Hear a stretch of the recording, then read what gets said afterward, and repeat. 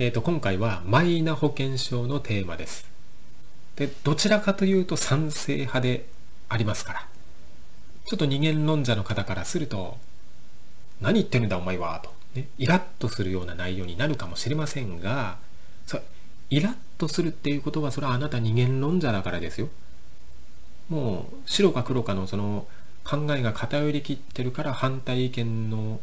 人にただただ感情的になってしまうと。だからその辺はちょっとね、あの、把握していただいて、まあ、ぜひ、ね、冷静に聞いていただければなと思います。え保険証の不正利用っていうのが問題になってます。医療費増加の要因の一つになってます。特に外国人による保険証の使い回しが問題です。だって顔写真ありませんからね、保険証。だから外国人が誰かから借りて、渡します。で、その名前を、まあ、ずっと、その名前で乗り切ればいいだけです。何々さんっていうのを、はいはいって言って、やっとけば、まあ、ごまかせるわけですよ。で、これから移民を受け入れる流れを止められないとすると、そういった犯罪というか不正利用がめちゃくちゃ増えてしまうわけです。早くそれ、なんとかしないと今の段階でね。だからまあそういうそういうその犯罪というか不正利用を抑制する効果が、まあ、今回のマイナ保険証にはあるのかなと思います。やっぱりマイナンバーのその顔写真があるっていうことで不正利用はかなり軽減できるわけですよ。まあ、現状のちょっと保険健康保険証がよ非常に良くないと悪用されているということを、まあ、まず把握しないといけませんね。これ何とかしないといけませんから急いで。で、次、えーと、マイナンバーの反対意見、よくある反対意見をいくつか考えていきたいと思いますけれども、まず、やたらと個人情報を気にされる方がおります。びっくりするほど個人情報の漏洩が怖いっていう人。一体何の情報が漏れると怖いのかよくわかんないんですけれどもね。まあ、住所とクレジットカードの番号っていうのはまあ確かに要注意なんですけれども、それ以外は大した情報ではないと思うんですけれどもね。でですね、マイナンバーカードのそのチップ自体には個人情報、大したもの入ってません。はい、これ間違いないです。カードの番号を他人に見られても、番号をメモされても、何の影響もありません。だって、役所のその機関で、特定の機械でしか読み取れません。取り出せませんよ、個人情報全然。そしてしかも不正に誰かが自分で機械を作って読み出そうとすると自動でチップ内のデータが壊れるような仕組みになっとるわけです。結構セキュリティ万全ですよ。むしろスマホとかクレジットカードを落とした時の方がはるかに危険なわけです。クレジットカードの場合はすぐに気づけば、ね、カード会社に電話してストップさせればねまあ支障ないんですけれどもスマホなんてのは個人情報源としてはマイナンバーよりもはるかにリスクが高いんで、個人情報を気にされていて、マイナンバーが嫌だって言ってる人は、じゃああなたそれ、スマホとクレジットカードも持っちゃダメだよっていう話に、まあ、なるわけですよ。では、えー、よくあるマイナンバー反対意見2つ目。カードを受け取ったら番号を付けられるんだっていうもの。これよく聞くんですけれども、この勘違いはですね、これ確かによくわかるんです。普通そう思うと思います。だって、保険証とか免許証とか、あとパスポートも、取得の時に番号が新たに発生しますもんね。まあ、それが普通なんですよ。しかし、マイナンバーの個人番号っていうのは、先に番号を振ってから皆さんに番号を通知しますっていうものなんで、例えばこう、新たに生まれた子供がいたら、出生届に乗じてもその時点で番号を与えるわけなんですよ。だからもう全国民にもう番号はすでに、まあ、振り分けられとるわけです。だから番号を受け取るか受け取らないってそれ関係ないわけですよね。この点はね、ちょっとありがちな誤解です。では、よくあるマイナンバー反対意見の3つ目。政治批判をしたら講座が凍結される。そして言論の自由が奪われて独裁国家になってしまうっていうものがありますね。これもね、ちょっとおかしな話で、別にマイナンバーがない時代でも、特定の人の口座は凍結させられますよ。警察が動けば。ただマイナンバーがあれば、普及すれば、スピーディーに凍結できるようになるっていうだけでね。うん。で、政治批判が過激すぎる人っていうのは、だから、あの、マイナンバーを反対するんでしょうね。すんごいもう過激に批判したいんでしょうね。ただね、政治家を脅迫とかしない限り、逮捕されることもないし、こんな口座凍結もされないと思いますよ。うん、もしね、いや、そうじゃない、ちょっとした政治批判でもこれからは口座を凍結させられるんだと思ってるとしたら、それちょっとやっぱりね、陰謀論に偏りきってるのかなと思いますね。だってその不安ってちょっと自意識過剰じゃないですか？自分がよほど社会的に影響があるんですか？ものすごい影響力がある人が目をつけられるっていうのは分かります。政治批判したら。でも、僕のような立ち位置で、そんなもんどれだけ批判しても別に ね、何にもないでしょ。だから全くもって影響力のない一個人であれば、マイナンバーカードが完全に行き渡っても、これまで通り政治批判しても大丈夫だと思いますよ。だから、その直接的に誰かを暴力振るおうとか、そういう脅迫をしない限り問題ないと思いますけどね。うん、で、ちょっとここでですね、まあ、この動画の肝となる、このマイナンバーのちょっと根本的な仕組みをちょっと見てみましょうと。これね、ほとんど知らない人多いんで、このイメージ図を見れば、あ、そういうことかと。あれ？全然マイナンバー恐れる必要ないじゃんと。えー、まあ、理解してもらえるんじゃないかなと思って図を作ったんですけれども、えー、これです。えー、上の方にですね、マイナンバーのデータベース構成っていうのがあって、まあ、見てもらうとですね、一番左に必ずこう ID っていう値があります。これは主キー、主なキーとも言って、まあ、必ずデータベースの左側には、まあ、連番のような ID が存在します。で、この ID が非常に重要なんですね。あのデータベースでは。あの、紹介していくときに ID で検索するとめちゃくちゃ早いんです。名前と生年月日で検索するのは結構情報量があの多くて処理に時間がかかるんですね。ビッグデータの場合は。でも ID だとものすごいパッとこう、えー、検索がヒットするわけですね。でですね、えー、マイナンバーのデータベース構成見ると、こう黄色い部分ありますね。でも見ていただくと、もう番号ばかりなんですよ。で、この番号を誰かに知られて、なんかそんな困ることあるんですかね。現状ですね、えー、保険証、免許証、年金手帳とかパスポートとか、であと銀行もそうなんですけども、それぞれ別のサーバーであの厳重に管理されてるんです。で、マイナンバーはそれにアクセスしやすいようにするだけなんです。紹介速度が上がるっていう。だから、別にマイナンバーカードがなくても、いずれの証明書の番号が一つでもあれば、全部の情報をたどり着けますよ。名前と生年月日であの検索すればね。でもそれだと遅いわけですよ、圧倒的に。マイナンがあれば早くなるっていう。うん。だから、そうですね、マイナンバーはマスターキーの役割で、まあ、スピードアップにつながるみたいな、まあ、そのぐらいの印象しかないわけです。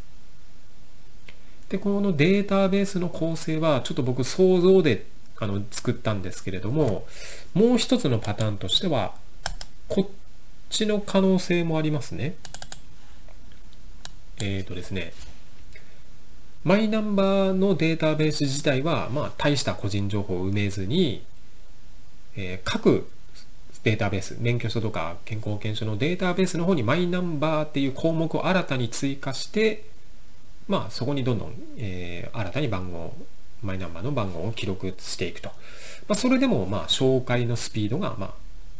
一気につな、あの、速くなると。で、まあ、このことをまあ一元化って言ってるわけなんですけれども、うん、まあ、一元化というか、なんというか、マスターキーを作るって感じですかね。まあ、そのくらいの印象でしかなくてしかも別にカード自体にはなんか番号のようなものしか入ってなくてでそれぞれの機関の特定の機械でしかデータデータベースに入り込めないわけですからマイナンバーカードのそのデータ自体はまあなんか保険証とか車庫とか運転免許証とかのその ID だけ記録されてるわけなんですよ。そんなものの何がそんなに不安があることがあるのかさっぱりわかんないんです。これも利便性が上がるだけなんです。むしろこのリレーションデータベースなんて当たり前にすでにももっと昔からしておかないといけない話だったんですよ。なので、うん、メリットにもちゃんと目を向けていますかと。行政のコストカットにつながったり、給付金も迅速に処理できたり、いろんな証明書を持ち歩く必要もなくなる。そして外国人の不正利用とかも防げるとか。ちゃんとした普通の方にとっては恩恵しかないんじゃないかなと思うんですね。で、対してマイナンバーを嫌がる人っていうのは、所得をごまかしてる人とか、あと、通名っていうのを利用してる人ですね。うん、外国人がこう日本人の名前を付けるみたいな、その通名利用してる人にとってはちょっと、あの、マイナンバー嫌がる理由となりますね。で、よくあるマイナー反対意見の4つ目として河野太郎が発表したから今の政府は信用できないからっていうのが、まあ、非常に多いわけですね。でもそういった方っていうのはやっぱり二元論者でありちょっと感情が先走りすぎて冷静さがあるようには思えないわけです。例えばですよ高市さんを支持してる人も結構多いですよね。保守の方は。では河野さんではなくて高市さんがワクチン接種推進の大臣に選ばれてたら今頃どうなってたでしょうか。逆だったんじゃないですか。やっぱり河野太郎がいいよね高市さん最悪みたいなだからワクチン接種推進大臣に選ばれた人がちょっとワクチン反対の人から嫌われるのはそれは当然じゃないですかそしてですよ別に誰がその大臣になろうがほとんどの人は東洋医学を学んでるわけではないんですよ。ほとんどの方がもう西洋医学しか信じてません。でそういうような社会の作りになってますからね。で西洋医学の闇について言及しているのは、それはも唯一賛成とだけですからね。うん、でちなみにですよ、高市さんっていうのは、第3次、第4次安倍内閣の時に、マイナンバーのその担当だったんですよ。皆さんお好きな安倍さんの意思を引き継いでると思われる高市さんがマイナンバー反対派だと思いますか、うん。ね、高市さんがねもしねマイナ保険証の発表をすればみんな反対しなかったんですかね？反対すると思いますけどね。うん。だからその人云々ではなくてマイナンバーの必要性をちゃんと考えましょうってことなんですよ。ね、担当大臣に任命されたらその仕事を全うするのは当たり前じゃないですか。ワクチン推奨に任命された。それを全うしないといけない。だから、ね、反ワクチンの方々にとっては憎いほど河野太郎は推進するわけですよ。それはむしろ逆に仕事はできるんじゃないですか。あれだけ、ね、一部の人から嫌われてももう無視して俺はもうやりきるんだっていううん、なんか立派に思いますね、逆にね。別に僕、あの、河野太郎ファンじゃないですからね。うん、政府が信頼できないのは別にずっと昔からそうじゃないですか。だって戦後レジーム体制なんでしょまあ、製薬会社に不利な条件で買わされたものを推奨するなんて最低だっていうのは分かりますけれども誰かがその役割を担うしかないじゃないですか。日米合同委員会もあるんでしょ、そういうことをちゃんと把握しておかないとなんか人の好き嫌いになっちゃってるんですよね。なんか全然本質的なところが見えてないような気がしますね。だから一回考えてみてください。もしあなたが信じている高市さんがワクチン接種推進の大臣に選ばれていたらどうなってたんだろうっていうことを想像すればわかるわけですよ。うん、他人に期待をするからこうイライラするんじゃないですか？僕は別に安倍さんだろうが岸田さんだろうが高市さん河野さん二階のじいさん別にこれら全員別に好きでも嫌いでもないんですよ。だってそもそも1ミリも政治家に期待してないもの、まあ、そういうスタンスなんで別に僕誰のファンでもないです。経営者とかビジネスマンっていうのはね、まあ、政治には関心あるけど別に対して批判なんかしないんですよ。なぜならどんな時代になろうが自分の力で生き延びる。人生を楽しむ。自分の力で。まあそういう信念がありますから。だから他人に期待せずに自分の力で何とかしようっていう感覚でいた方が、まあ、ストレスフリーなんですね。で、最後によくあるマイナンバー反対意見の5つ目として、国民を管理して奴隷のごとく扱おうとしている。っていうのが、まあ、あるわけなんですけれども、別にマイナンバーで自由が奪われるとは全く思えないですね。まあ、先ほどデータベースの構成の紹介しましたけれども、まあ、番号ばかりバーっとこう記録されてるもののそのそれの何がそんなに不安があることがあるのかがよくわからないわけですよ。うん、それぞれのそのデータベースのマスターキーのような存在になるだけで別に誰もが容易にそんなねアクセスできるわけじゃないんでね必要に応じてあの紹介の処理をするだけでねうん迅速にデータを連結させる、させられるだけの話ですから、どちらかというと外人の犯罪を減らせるっていうことの方がいいと思いますよ。その現在の保険証がちょっとあまりに、あの、好きだらけなんでね。それは早く解決した方がいいと思います。ですので、あの、後ろめたいことがない人にとっては歓迎でしょ。で、日本っていうのはま IT 後進国ですから、まあ、日本人の IT の理解力が世界的にも低いこともあって、ちょっとこのマイナンバーの仕組みっていうのはどちらかというと IT 的な発想なんですよね。うん。あの、データベースのことなんで、まあ、ちょっと日本人には理解しがたいのはまあわかります。まあ、ですので今回はちょっとリレーションデータベースっていうのを仕組みをね、あのちょっと説明してみたわけなんですけれどもまあいかがだったでしょうかと、まあ、利便性が高まることのその恩恵をね個人的には早く感じたいなと思っています。普及早くしちゃえばいいのになと思ってる側ですね。うん